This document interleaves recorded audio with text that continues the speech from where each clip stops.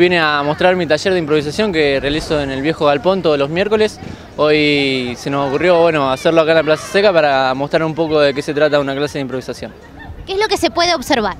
Bueno, estamos viendo el trabajo de todo el año de los chicos. Eh, trabajamos diferentes técnicas eh, de clown, de teatro, de improvisación, eh, de canto, de pantomima. Trabajamos diferentes técnicas para complementar un trabajo completo y, y que los chicos puedan tener diferentes técnicas para defenderse en el escenario.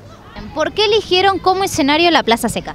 Eh, bueno, el escenario como de Plaza Seca lo elegí por un tema de que es un espacio no fácil para improvisar porque tenemos diferentes eh, distracciones, autos, gente que pasa, gente interesada, gente no interesada y lo, que se trata de explotar acá es eh, la creatividad con diferentes factores donde no no es favorable para lo que estamos haciendo. Entonces, si pueden realizarlo en este tipo de espacio, lo pueden realizar en cualquier otro tipo de espacio. La respuesta del público es variada, hay mucha gente que se ríe y comparte con lo que está sucediendo, otra gente que lo mira de lejos y se ríe de lejos, otra gente que, eh, que simplemente eh, lo, ve a la pasada y cada una de, las opiniones, cada una de las reacciones es importante porque eh, muestra un poco el reflejo de lo que se está generando.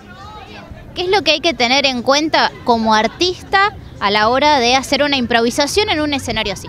Eh, lo más importante es la escucha eh, de mi compañero eh, y no pensar frente al vacío. El improvisador frente al vacío no piensa en la posibilidad de caer, sino en la probabilidad de volar. Y eso es gracias a dejarse llevar y sentirse libre arriba del escenario. ¿Ya está planificado alguna otra actividad de este estilo?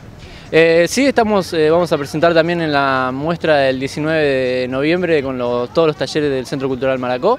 Vamos a estar participando ahí en el cierre de talleres y probablemente la semana que viene volvamos a la Plaza Seca.